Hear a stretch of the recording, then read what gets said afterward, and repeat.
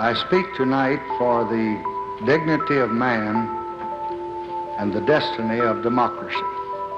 What happened in Selma is part of a far larger movement which reaches into every section of America. This bill will strike down restrictions to voting in all elections.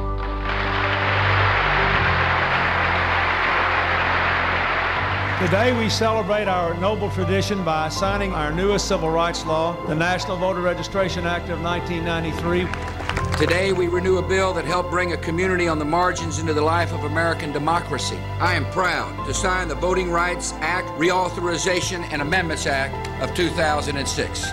Young people are fired up about the 2008 election. Large numbers of African Americans are turning up at the polls in what could be a historic turnout among the nation's largest minority voting group. 11 o'clock on the East Coast, we can report history. Barack Obama is projected to be the next president of the United States of America. As the polls opened from the east to the west across this country, the same picture continued to emerge. Eager voters showing up before the polls even opened, and in many cases, lines as far as the eye could see. This mathematically makes no sense In to some me. of these Cheating precincts, has happened. in I don't this- believe it. I think this is voter fraud. Several new voting laws recently enacted in the United States. I think we've got a lack of voter integrity. That means our voting is not honest in this country. State after state can't point to a single instance of in-person voter uh, impersonation, not one. Name it for what it is. It's an attempt to repress minority voting, masquerading as an attempt to end corruption. It's an ID. Everyone has an ID. Voter ID, which is going to allow Governor Romney to win the state of Pennsylvania. Done. We cut Obama by 5%, and I think that probably photo ID had a, a, helped a bit in that.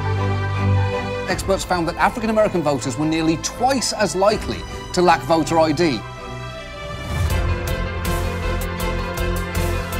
Well, I think Hillary Clinton is about the weakest candidate the Democrats have ever put up.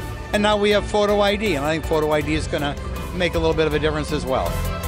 These restrictions on voting are a direct response to the election of the nation's first African American president. We just got new metrics in. Donald J. Trump is the president of the United States elect. The new Presidential Commission on Election Integrity, established after President Trump, who lost the popular vote, insisted three to five million people voted illegally. Again, you don't have any hard physical evidence that this happened. More than 20 states say they can't or won't comply with this week's request for voter roll data. The American Civil Liberties Union is launching a 50 state campaign to restore Americans' voting rights. You know the issues of North Carolina voter ID. The Fourth Circuit issues a decision. They said it was clear that the intent was to target African Americans with, quote, surgical precision.